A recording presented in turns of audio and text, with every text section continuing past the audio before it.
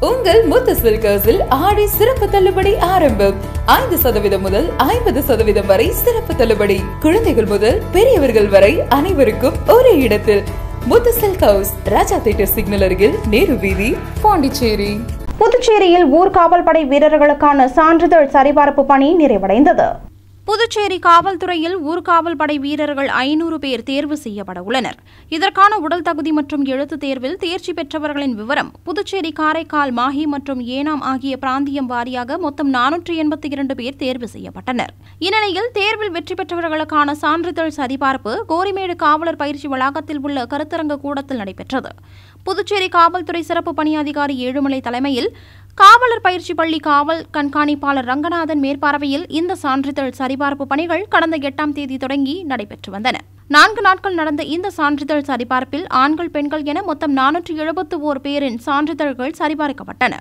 இதில் தகுதி பெற்றவர்கள் அனைவரும் மருத்துவ பரிசோதனைக்கு அனுப்பி வைக்கப்பட்டனர். மேலும் இதில் மீதமுள்ளவர்களின் சான்றிதழ் சரிபார்ப்பு முழுமையாக முடிவடையாததால் அவர்கள் காத்திருப்பில் வைக்கப்பட்டுள்ளனர். மேலும் மருத்துவ பரிசோதனை முடிந்தவர்களுக்கு ஓரிரு நாளில் பணியாணை வழங்கவும் திட்டமிடப்பட்டுள்ளது. இதனிடையே புதுச்சேரியில் நாளுக்கு நாள் போக்குவரத்து நெரிசல் அதிகரித்து காணப்படுவதாலும் போதுமான போக்குவரத்து காவல்துறையினர் இல்லாத காரணத்தினாலும் ஊர்காவல் படை வீரர்களாக தேர்வு செய்யப்பட்டவர்கள் தங்கள் பயிற்சி காலத்தில் முக்கிய சந்திப்புகளில் நின்று போக்குவரத்தை சரி செய்து வருகின்றனர். இதனைத் தொடர்ந்து இவர்கள் விரைவில் பணியில் அமர்த்தப்படுவர். இந்நிலையில் புதுச்சேரியில் போதைப் பொருட்களால் நடைபெறும் குற்ற சம்பவங்களும் அதிகரித்து வருவதால் மக்களுக்கு பாதுகாப்பு இல்லாத சூழ்நிலை நிலவி வருகிறது.